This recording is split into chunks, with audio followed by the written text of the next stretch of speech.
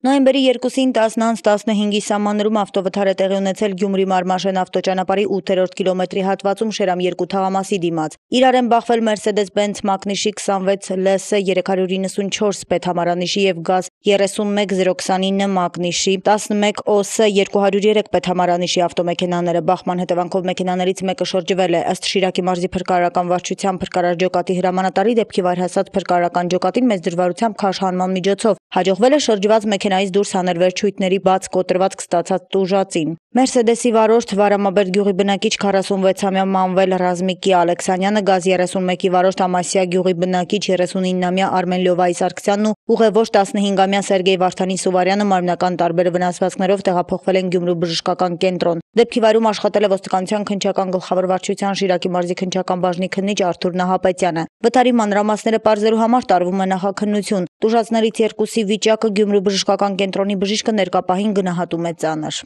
Նոյեմբերի 2-ին Գյումրի բժշկական կենտրոն են բերվել 3 հիվանդ Ալեքսանյան Մանվել Ռազմիկի 46 տարեկան միջին ծանրության այս հիվանդի մոտ կա դեմքի սալջարդ վերք աջ ծնգոսկրի կոդրվածք տրավմատիկ շոկ հիվանդը ստացել հագաշոկային բուժում պատրաստում է վիրահատության երկրորդ հիվանդը ընդունվել է վերակենդանացման բաժանմունք Սարգսյան Արմեն այս հիվանդի վիճակը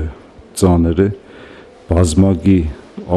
կոդրվածքներով ազդրի եւ սերունկի բաց բազմապեգոր կոդրվածքով ճնշման համախտանիշով լուրջ հիվանդ է, ծանր հիվանդ է։ Հիմի գտնվում է ռեանիմացիոն բաժանմունքում, պատրաստում է հրատապ վիրահատության։ Եվ բերվել է Սերգեյ Սուվարյան, 15 տարեկան է երեխային հետազոտվել է ու վարկվել է ավստրիական մանկական հիվանդանոց։